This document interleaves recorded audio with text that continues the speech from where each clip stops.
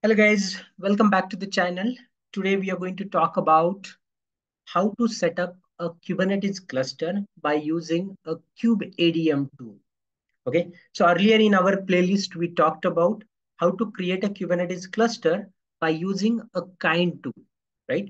But that kind cluster we mostly end up using in our uh, day-to-day -day usage as well as in our um, uh, CI pipelines, continuous integration pipelines in the DevOps where we want to quickly create the cluster, deploy the application, test it, and then destroy the cluster. Okay, so that would be very useful in our day-to-day -day life. But if you talk about the production, okay, if you talk about the production environment, then kubeadm tool or a cluster created by using a kubeadm tool is more preferred because that cluster is persistent and we can use that for longer period of time. Okay. Perfect. So let's understand what happens or how we create a kubeadm cluster. And I'll also share the step-by-step -step, document in the comment section as well as in the description section. And you guys can follow and set up the kubeadm or uh, Kubernetes cluster by using a kubeadm easily. Perfect. So now kubeadm is a tool that is used to create a Kubernetes cluster. Okay. The important thing that we need to remember here is kubeadm, we mostly use it in the production environment.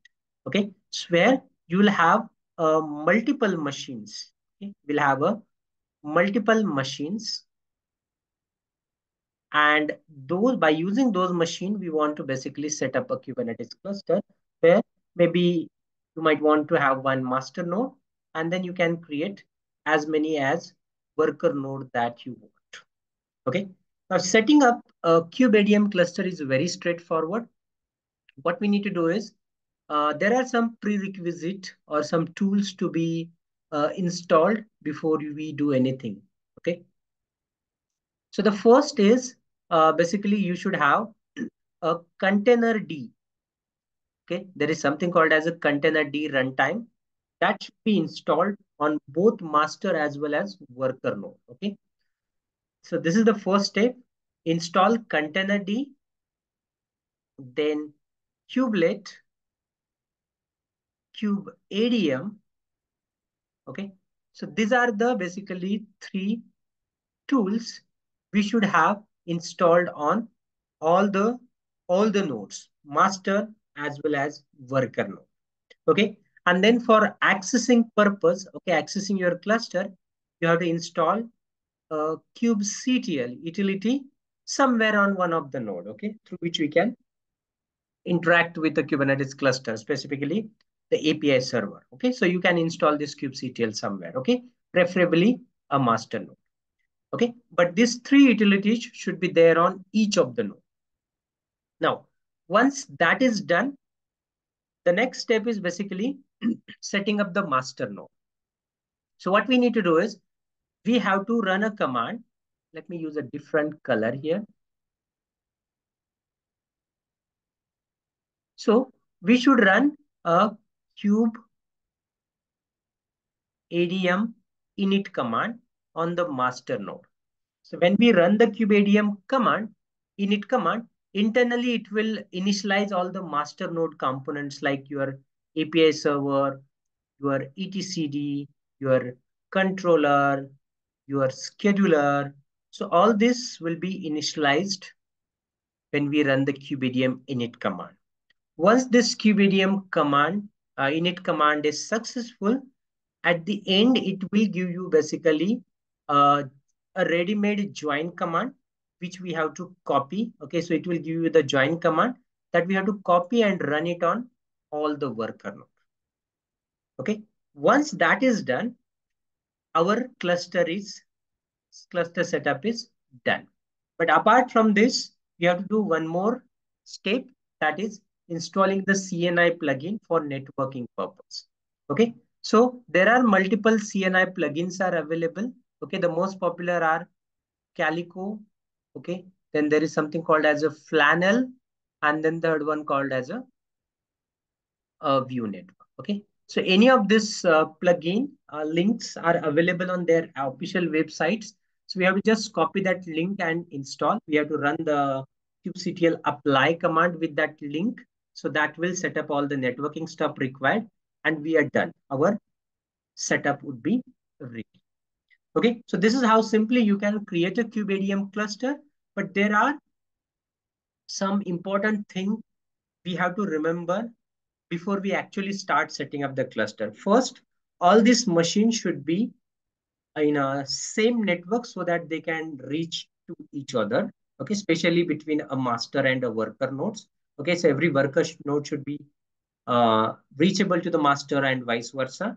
And then the another important requirement, it is recommended, not a compulsion, that it's a better to have a, some meaningful host name to each of this node so that we can easily understand that, okay, this is a master node, this is a worker one, worker two, worker three, like this. That will help us basically easily identify. So this it would be better to have some meaningful host name to each of them.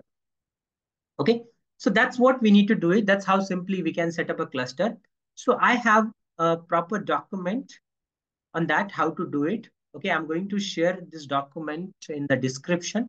Okay, so here you can see uh, to set up this, we have to first of all have this all these tools installed on each of the node. And these are the steps that we need to do. Like first, we need to set up the host name for each machine, then set up the master node, and then set up the worker node. So what I'm doing, we are basically just setting up the host name for master node, then setting up. So we have basically in this document, we have explained how to set up a Kubernetes cluster for three nodes.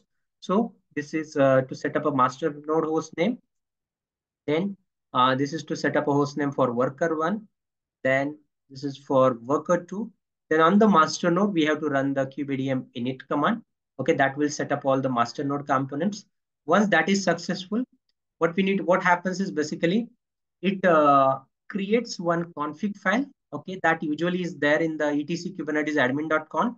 Okay, but uh, when we want to uh, access your Kubernetes cluster by using a kubectl, so kubectl needs to know that configuration so that it can interact with the API server. So what we are doing, we are creating by default kubectl looks for that configuration under .kube folder in the home directory. So that's why we are creating that folder. And then we are copying this etc kubernetes config file into this home location and then changing the permission. And we are giving the permission to that user. Once that is done, what we can do is uh, so, and once kube, kube uh, init successful, we get a ready-made join command. Okay. And this join command, we have to go and run it on all the worker node. Okay. So either you can copy this or we have some commands to basically generate that token and run it again. Okay. So I'll show you. So you can see we are running this command. Once that is done, uh, we have to install a CNI plugin, right? So we have uh, to install a Calico plugin. This is how we do it. Okay. Once that is done, uh, you can see right now uh, it is showing only one node because only master node we executed everything.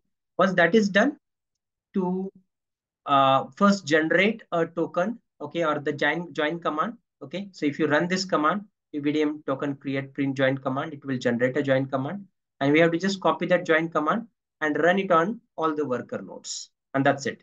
Once that is done, after at the end, once all the nodes are all, if you run the join command on all the worker nodes, if you come back to the master node and say kubectl get node, this is how it will show all the nodes and they should be in a ready state. Okay, so that's how simply you can basically set up a Kubernetes cluster by using a kubeadm. And this is very popular tool to set up a Kubernetes cluster on the production environment. Okay, and if you are using Kubernetes for in your dev environment or in your continuous integration pipelines, then kind is the best option because we can quickly set up a kind cluster on a single node itself. Okay, but for a kubeadm, we need multiple machines. Okay, so that's it for this video. I hope everyone understood how to set up a Kubernetes cluster by using a kubeadm. If you have any queries, please write it in the comment box. And if you like the video, please subscribe the channel if you are not done yet. Okay, so that's it. Thanks everyone.